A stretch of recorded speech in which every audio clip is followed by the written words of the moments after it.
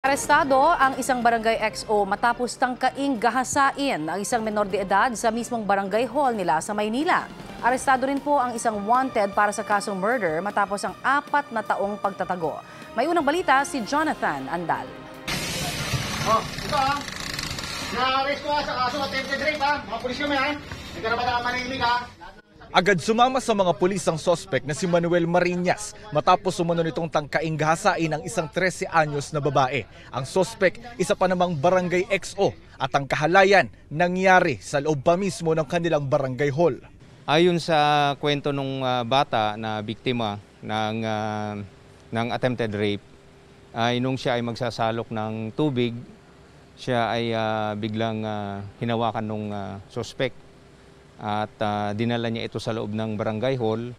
Pero giit ng sospek, siya ang niyaya ng minor de edad na biktima. Wala naman daw nangyari sa pagitan nila dahil may nakakita nang dalhin niya ang biktima sa barangay hall. Hindi ko na tinuloy. Nakita kami. Kala ko sa CCTV, hindi, hindi ko tinuloy. Naawa. Ano, bata yun, hindi ko tinuloy. Ang kanyang biktima, anak pa man din ng kanilang kagawad. Ang ah, kanyang ama ay ah, galit na galit dahil ah, minor de edad ang kanyang anak. May na lang po akong sorry sa magulang ng bata. Desidido ang pamilya ng biktima na sampahan ng kaso ang sospek.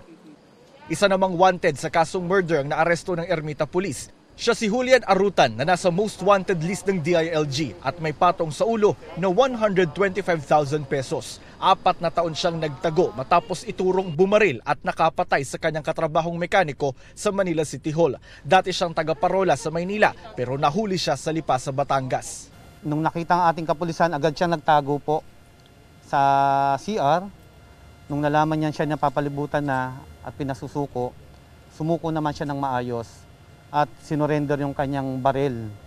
Pero gate ng sospek, napagbintangan lang siya. May mensahe siya sa pamilya ng namatay. Maawa naman po kayo sa akin na may pito po akong anak. Hindi naman po talagang ako ang pumatay doon at alam niyo rin po yun. Ito ang unang balita sa Maynila. Jonathan Andal, buong puso para sa Pilipino.